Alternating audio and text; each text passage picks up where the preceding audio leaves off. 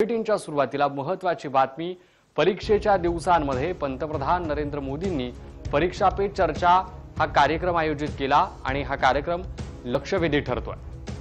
यंदा एक्क्याऐंशी देशातील विद्यार्थ्यांशी पंतप्रधान नरेंद्र मोदी यांनी संवाद साधला. त्यात तामिळनाडूतल्या विद्यार्थ्यांचे अधिक प्रश्न होते हे विशेष. त्यात पंतप्रधानांनी मुलांना काय सल्ले दिलेले आहेत ते पाहूया.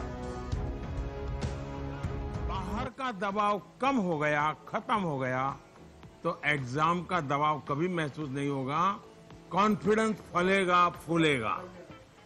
प्रेशर रिलीज़ हो जाएगा डिक्रीज हो जाएगा।